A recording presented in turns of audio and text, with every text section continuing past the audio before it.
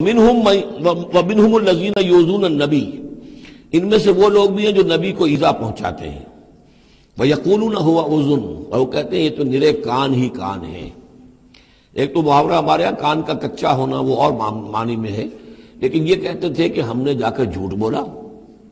حضور میری بیوی بیمار ہے اور انہوں نے مان لیا۔ معلوم ہوتا ہے کہ یہ دماغ میں کچھ نہیں ہے، ان کے یہ کان ہی کان ہے بھیجے ہوئے نہیں ہے دماغ میں کچھ۔ یہ صرف جو کچھ جو کچھ کہہ دیتے ہیں، مان لیتے ہیں، سن لیتے ہوا حضور، یہ تو گرے کان ہے بس۔ یہ بھی حضور کی توہین۔ وَبِنْهُمُ الَّذِينَ يُوزُونَ النَّبِيَّ وَيَقُولُونَ هُوَ اُذُن قُلْ اُذُنُ خَيْرٍ لَكُمْ۔ کہہ دیجیے، یہ کان تمہارے لیے بہتر ہے بہتری کے لیے ہے تمہاری خیریت اسی میں ہے۔ یومن باللہ و یومن للمومنین یہاں پہ یہ ایمان کے ساتھ بے اور لام کا فرق واضح ہو جائے گا۔ وہ یقین رکھتے ہیں اللہ پر اور بات مان لیتے ہیں مومنوں کی۔ یہ ان کی شرافت ہے، یہ ان کی نجابت ہے، یہ ان کی مروت ہے۔ وہ جانتے ہیں تم جھوٹ بول رہے ہو، لیکن نہیں کہتے کہ تم جھوٹ بول رہے ہو۔ یہ شرافت اور مروت کا معاملہ ہے۔ یہ نہیں ہے کہ انہیں معلوم نہیں ہے۔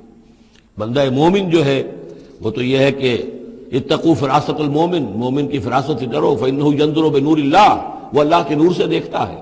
تو جو عام مومن کا معاملہ یہ ہو، تو رسول کا معاملہ کیا ہوگا؟ کیا انہیں پتہ نہیں چلتا تھا کہ جھوٹ بول رہے ہیں؟ لیکن آپ کی مروت اور شرافت۔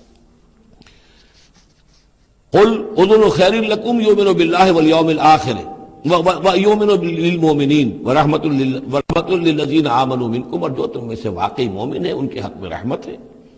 والذین یوزون رسول اللہ، لہم عذاب علیم اور جو ایزا پہنچاتے ہیں اللہ کے رسول کو، ان کے لیے بڑا دردناک عذاب ہے۔